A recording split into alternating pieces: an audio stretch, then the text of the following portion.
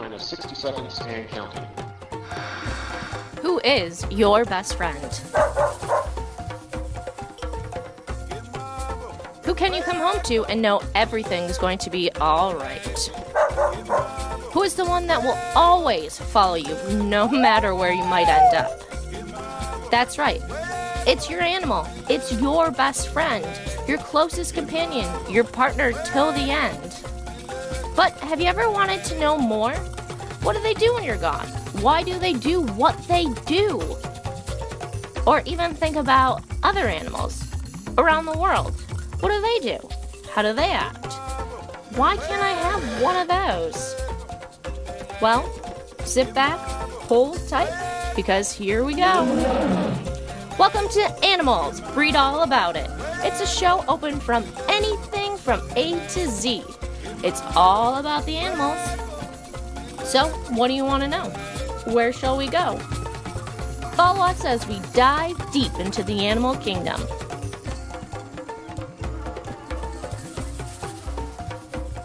Hello, and welcome to AnimalZ Breed All About It. It's a show about anything and everything from A to Z about animals, whether it's the small critters in your backyard or the large and in charge animals living around the world. On today's episode, gear up for the winter as local vet Dr. Hood gives us tips and tricks for the cold winter months and our pets. Learn the warning signs on when you should take your cat to the vet.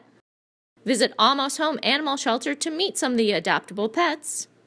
Travel to the Detroit Zoo to meet their wolf pack and get introduced to a few of the animal entertainers and organizations that the Novi Pet Expo had to offer.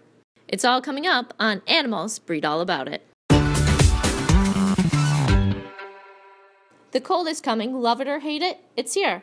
But what does this mean for our pets? Dr. Hood gives us the scoop on how to get ready for the winter. Well, I think it's very important that we start planning ahead of time a little bit about um, the winter months and, and what things we can do. So there's really two things. There's a lot of dogs and cats, for that matter, that spend time outdoors. And so if they're going to stay outside in the cold weather, it's going to be very important to have their shelter and their bedding and everything all set up. So if they have a dog house, for instance, or a shelter for your cat, make sure that it's nice and secure. There's no leaks uh, coming in. Uh, one of the things that possible is to have the opening face away from where the wind predominantly blows from so they don't get cold. You just make sure their bedding inside is clean and is thick enough so that they can lay down in there and stay nice and warm. Um, you know, cats in particular, you know, will generally try and seek out places to go, but if they have some place that's warm and has some appropriate bedding, um, then they can, they can go in there. I think the important thing to keep in mind is that's great um, if they thrive out there. The most important thing, if let's say it gets below 20 degrees, they just need to come inside um, and be kept inside overnight and things just to find a place for them indoors, just because that's just too cold for them to be outside.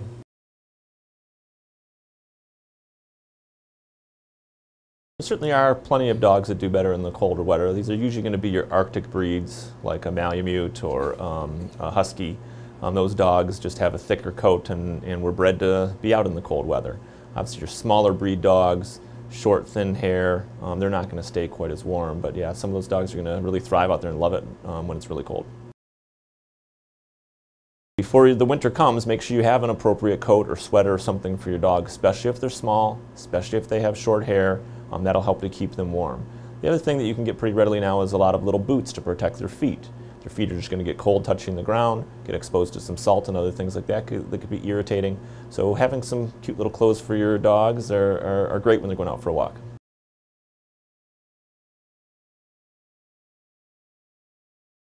We do have to be careful with this. Thankfully, they'd have to really ingest a, a, lot of these products to really cause them to be sick. Some things it makes sense to induce vomiting so they don't have exposure. Other things aren't safe to induce vomiting. So you should check with someone first. Um, if they recommend inducing vomiting and you're comfortable doing that home with some hydrogen peroxide, that would be a good place to start.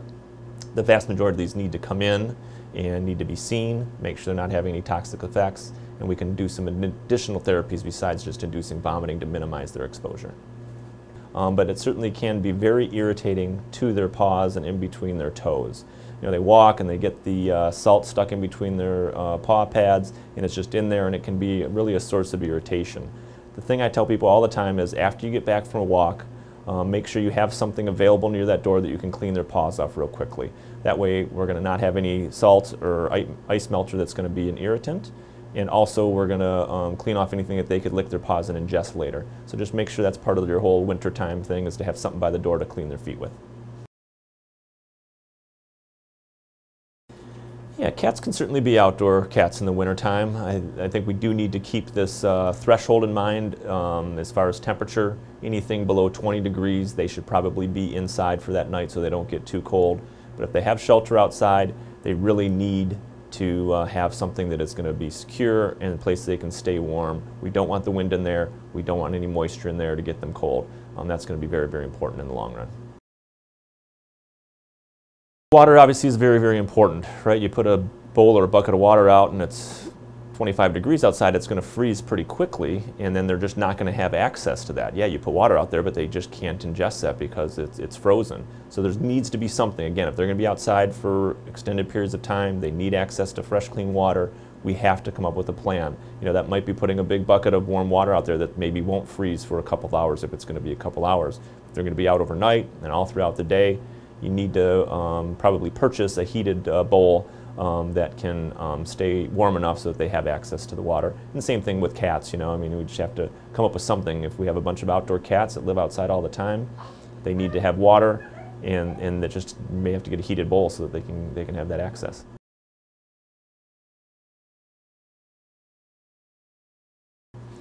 Well, we see wintertime things, hypothermia, frostbite, things along those lines are much more common in the winter, and that's just some common sense. Thankfully, a lot of our contagious diseases and other things that we see, fleas and stuff like that, are just not very common in the wintertime. So it really is a time of the year where we see less of those types of problems, um, but just all the cold weather things, dogs staying out too long, cats staying out too long, coming in, their temperature's very low. Um, we'll see, especially with cats with their little thin ears, they're outside, they can get frostbite on their ears pretty quickly, and they'll come in and little pieces of their ear can, uh, can uh, necrose and fall off. So those are the types of things we worry about in the wintertime.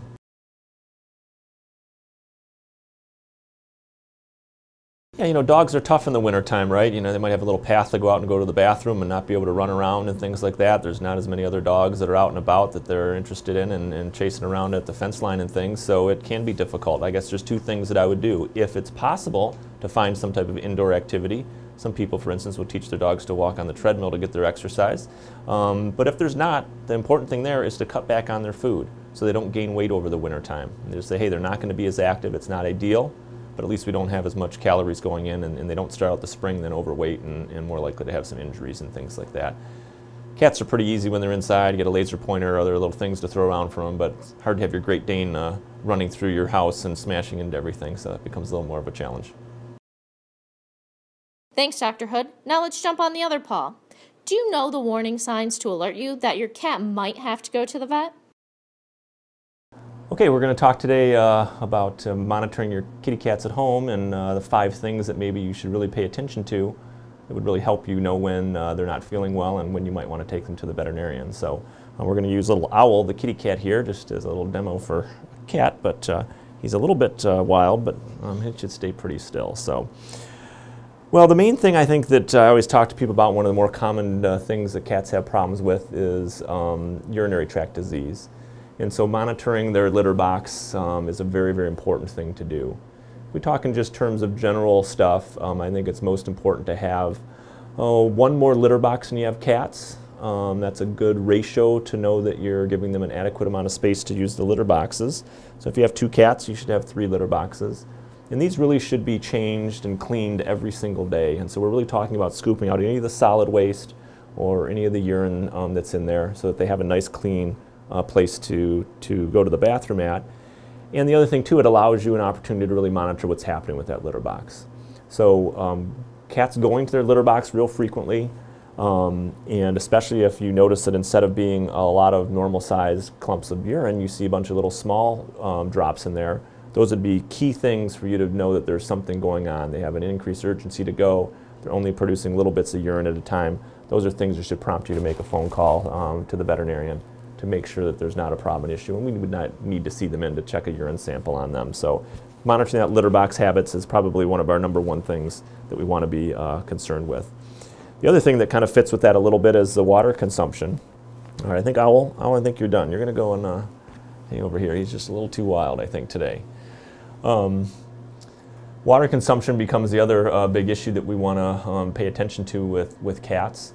Um, if they start drinking a lot of water um, and will correlate with that instead of being normal sized clumps in the litter box is going to be real large size uh, of, um, of urine in there.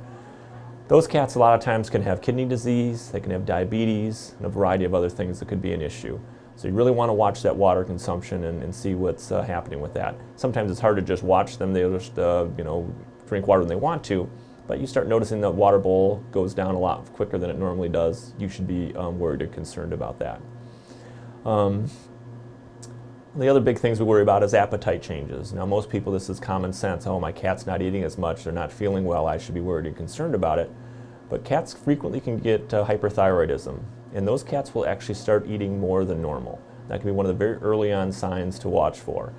So from a common sense standpoint, not eating as much, that should prompt a call to the veterinarian. But don't uh, hesitate with cats if they're eating a lot more than you think they should be and seem real hungry, especially if they're losing weight. Those could be hyperthyroid cats that need to be um, examined uh, pretty promptly to make sure they're not having any issue or problem. You know, cats when they're not feeling well will frequently hide. They'll find a closet underneath a bed, go underneath the couch, whatever else it happens to be. And this is a kind of survival mechanism. They're not feeling well, they don't want to be, you know, obvious to a predator that they're not uh, well and could uh, be attacked pretty easily. So they find a place to just go and hide and uh, just kind of be by themselves and feel a little bit safer and more protected. So this should be a, a warning sign to, to, you that if your cat is doing this, especially more than a day or two, um, and it's obvious to you, um, you know, that could be any number of things why they're not feeling well. Um, but that should be something that, that uh, alerts you right away to make sure that you go and, and get them checked out uh, pretty promptly. So we wouldn't want to overlook something that we could treat early on. Um, the other thing about it is just monitoring all the things that they do, just knowing what's normal for your cat. Um, do they normally not uh, lay in a certain place? How does their meow sound? Does that sound different? Their appetite? Are they limping on a leg? Any of those things that are not normal, at a minimum, just call the veterinarian, ask them if it's something to worry about. I get these calls all the time. Hey, is this, no, don't worry about it. We don't need to be concerned with that and we can resolve that on the phone. But sometimes it's going to be something that prompts something in our mind where we say, yeah, we do need to see them and make sure they're going to be healthy. And just remember, it's always easier to take care of those problems when they're early on and they're minor versus letting them go to too long and now they're much more sick and more difficult and expensive, quite honestly, to take care of. So um, just knowing what's normal for your pets and paying attention to these few pointers that you can make sure you get them in real quickly when they need to be seen.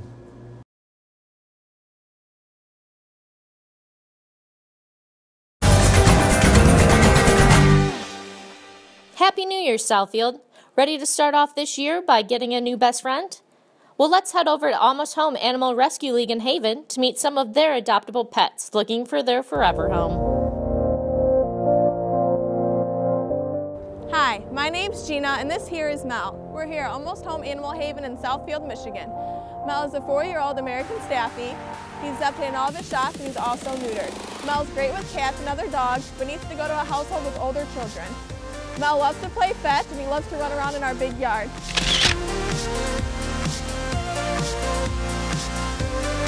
Hi, I'm Gabby from Almost Home Animal Shelter and I'm here with Amelia. She's a two-year-old um, American Staffordshire Terrier um, she would do best being the only dog in the house. She's good with kids. She's potty trained. Amelia is up to date on all of her shots and she would be a great addition to any family.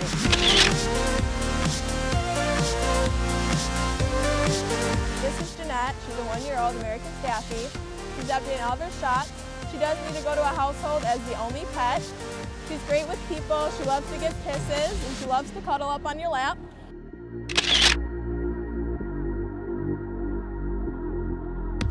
I'm here with the beautiful Wilma. She is a two-year-old American Staffordshire Terrier. She's very fun and playful. She's up to date on all of her shots, and she would make a great addition to any family.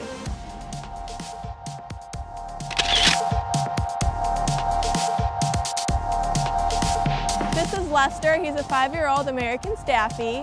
He's updating all of his shots. He does need to go to a household as the only pet and with older children, but he really is sweet. He loves to play fetch, he loves to give kisses.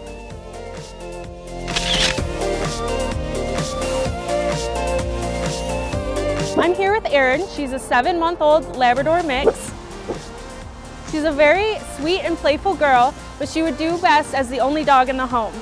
She does great with kids and cats. She's up to date on all of her shots.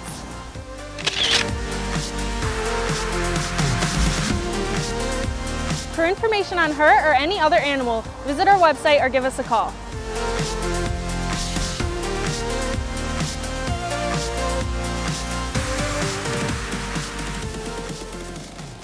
What a great group of pups. But remember, a pet is a lifelong commitment for both you and them, so make sure you're ready. Most dogs can live up to 10 to 13 years, and most cats up to 15 years. So, be sure you are fully ready for that new wonderful addition. Now, let's head down the road and meet our Detroit Zoo Wolf Duo.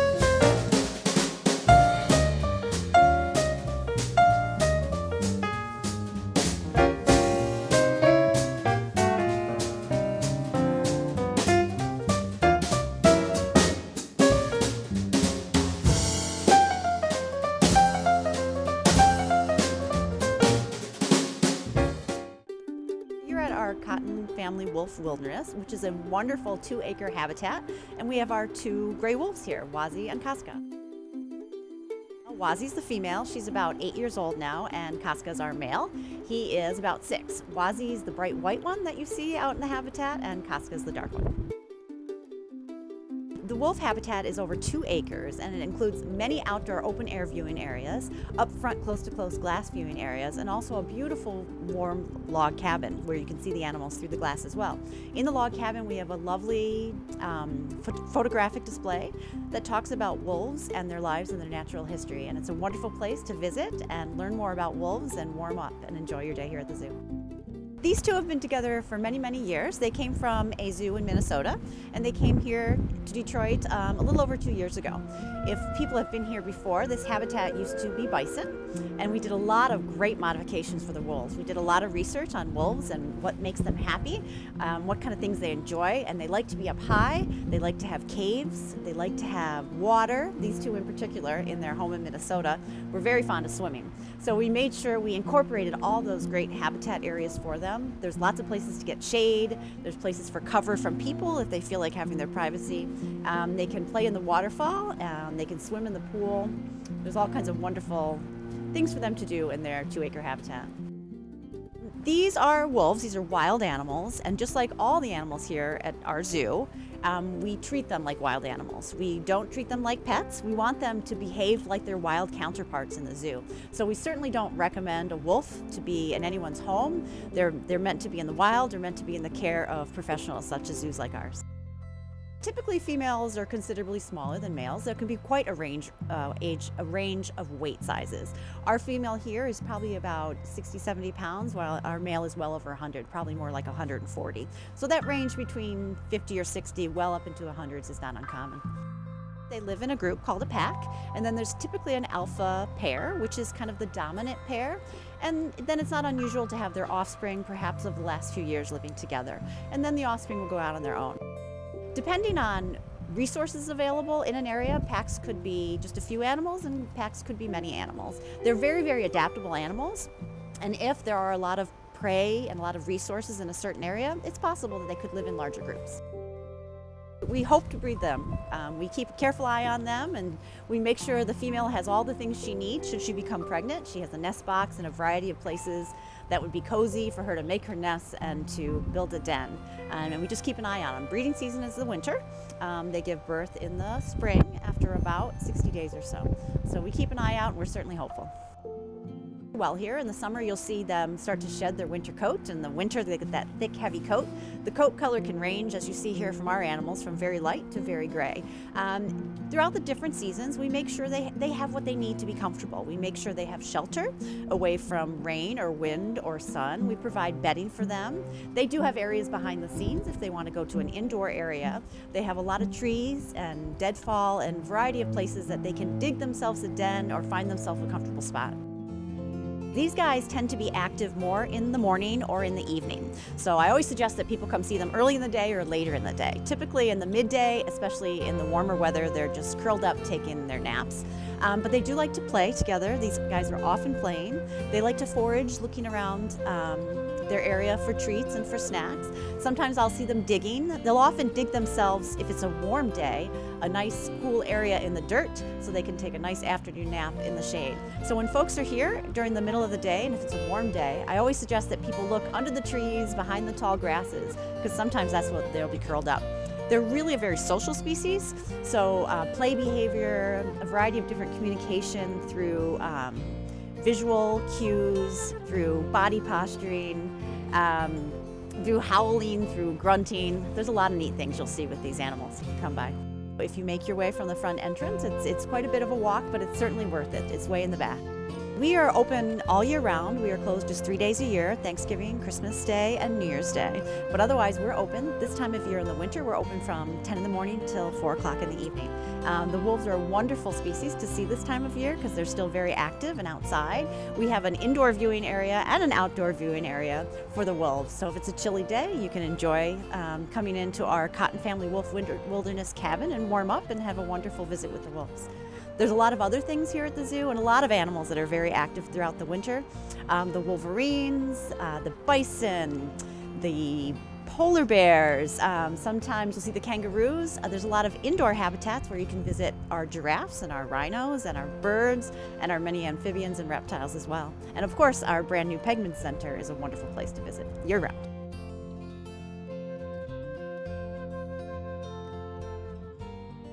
Also, check out the Southfield Parks and Recs to get discounted tickets for the Detroit Zoo.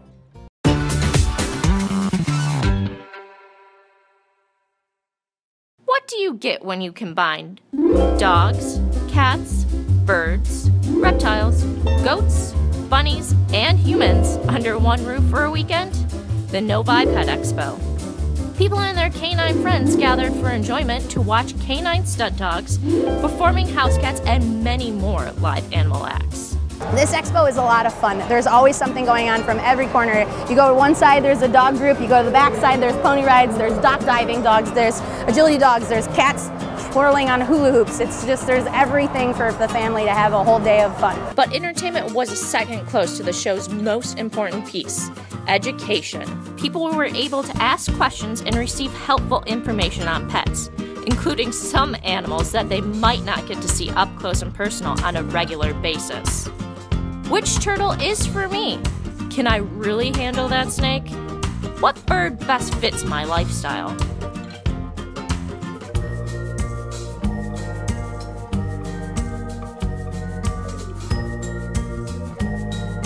We do a lot of events like this, and just by talking to people and getting people to ask us questions and answer their questions that they have, and we're willing to take people by the hand if they're interested in getting a bird and just take them step by step. The crowds are always really interested because these guys are really flashy. It draws people to them, and especially to our booth. But we also get a lot of good questions. And we do get a lot of people who, potential adoptees, and we have adopted through uh, this Pet Expo in previous years a lot of birds that, you know, people don't know that that an organization like this is out there and there's such a thing as, as a, a bird rescue.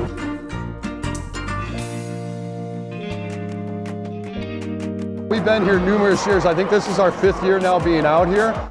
Last Day Dog Rescue specializes really in focusing on dogs that are um, usually five to 10 days away from euthanasia. Uh, so we really pull most of our dogs from shelters that are very high kill shelters. Uh, we have about 200 volunteers, active volunteers in our organization. Uh, typically we have anywhere between 50 and 100 dogs at any given time. We are a foster based organization and we're always looking for new fosters.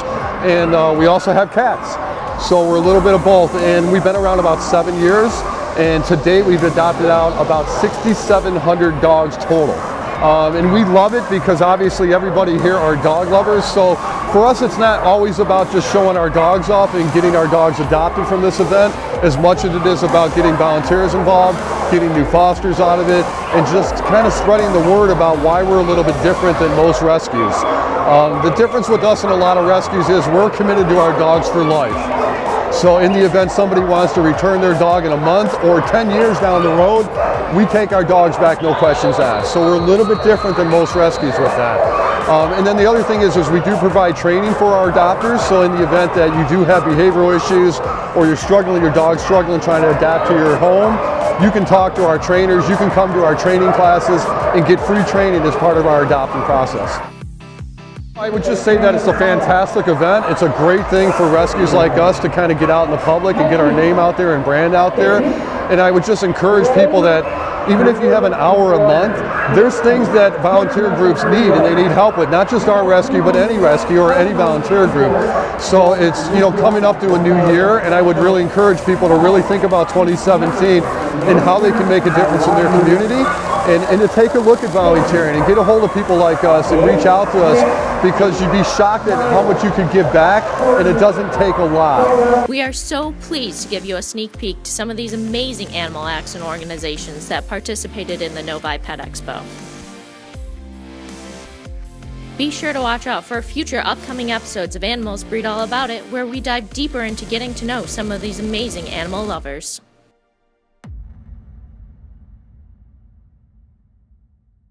Well, that's our show. Thanks for tuning in. If you have anything you want to see on our show or any questions, visit our Facebook page, Southfield Multimedia Services. And don't forget to come back for our next episode of AnimalZ Breed All About It. Until next time.